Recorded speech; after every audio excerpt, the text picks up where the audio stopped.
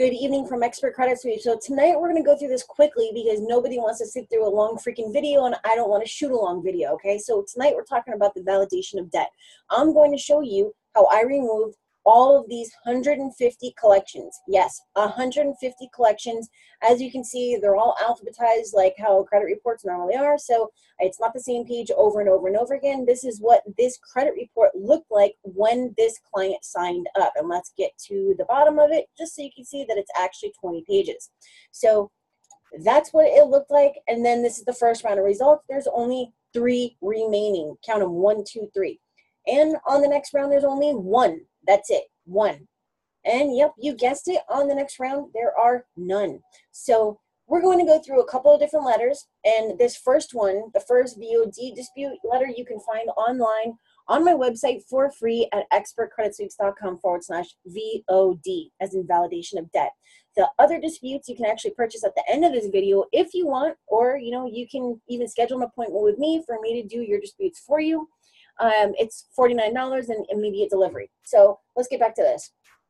All right, so this is a letter you're going to send to the collection agency. This is for collections only as it's under the FDCPA, which is debt collection, the Fair Debt Collection Practices Act. Okay, this is not the FCRA. So Anyways, having said that, this is good for a medical, apartment, utility, cell phone storage, dental, and then when you're looking at debt buyers, that's going to be for credit cards, loans, vehicles, etc. So you're basically just going to, you know, put your information on here. You say that I owe this, and your claim is disputed. Now, you're also going to follow this up, and it can be at the same time because I know that's a question. There's no time period that needs to be in between. Send your bureau dispute out like on day one and send your collection dispute on day two. Okay, so this is your bureau letter. I looked at my credit report and this account is unknown. I don't owe anything with this balance or to this creditor and it needs to be removed. Send me a credit report showing that it's been deleted. Now, let's say that they actually respond, being the creditor, um, they respond and they say, Look, this has been verified. You're going to send letter 2A. And this is letter 2A, and it basically says, you know, you said that it's been verified, but you failed to provide me with a copy of any viable evidence bearing my signature, excuse me, bearing my signature showing the account is being reported accurately. Okay, so if that occurs, you're going to send letter 2A to the bureaus. Okay, maybe you didn't get the part in my last letter where I said that this account is unknown and that it needs to be removed. Just because you say that it's been verified, it doesn't change the fact that I have no clue where this came from. Delete this immediately. I need you to send something with my signature or the paper that was filled out if you're going to keep this on my report. All right, so now let's look at the other way. Let's say that they just don't respond at all. So you're going to send letter 2B.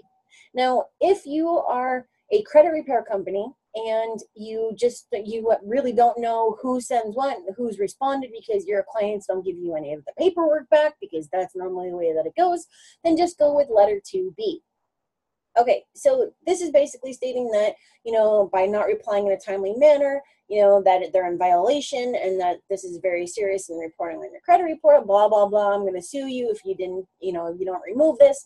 Um, you don't really find out until letter number three what the actual magic is behind this. So your dispute letter to the Bureau, look at the top, 2B, is going to say, I disputed this with the company and I sent it certified and they didn't even respond. What's crazy is is that I'm pretty certain that a creditor needs to respond to you for you to say that it's been verified. So if they're not sending me anything, then what are they sending to you? You can't even get paid to report something that you have absolutely no proof of. Get it off my report because it's 100% unverified. All right, guys. So this is letter number three. Okay, and this right here is the magic behind the whole thing. Okay, so this is under Section 623 of the FCRA and 806B of the FDCPA. Upon further investigation, I have retained new copies of my credit reports and noticed that you did not furnish the credit bureaus with the required disclosure within the required period by law. You are required by federal law to place a notice of dispute on my account within 30 days of my dispute, which you signed for on date you signed for the letter. That's it. That was their last chance, okay? So most of the time they think that you're just trying to get them to send, you know, assign this and assign that, but no, that's not it.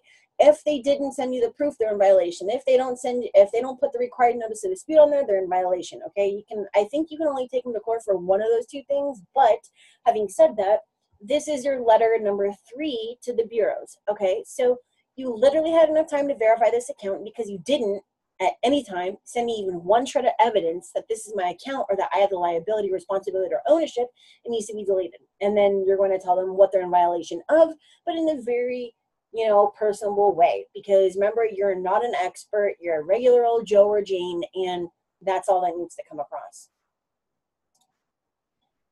Okay, so your last resort is to take them to court. And you would send this letter with a copy of you know, the complaint, as simple as that. So if you want, um, and you can always make this yourself, of course, but if you want to um, get these letters, including the ones that I've made for the bureaus, then, you know, I would also give this to you as an Excel spreadsheet so that you can keep track of everything so that you have a backup of your paper trail. All right.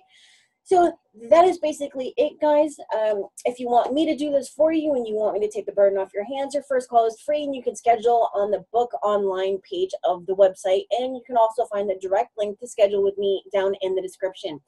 If you would like to get this series, including the blank tracking sheet and um, the Bureau disputes that I made, then the link to that is also going to be in this video down in the description please make sure to like, comment, and subscribe. And I'll see you guys next time.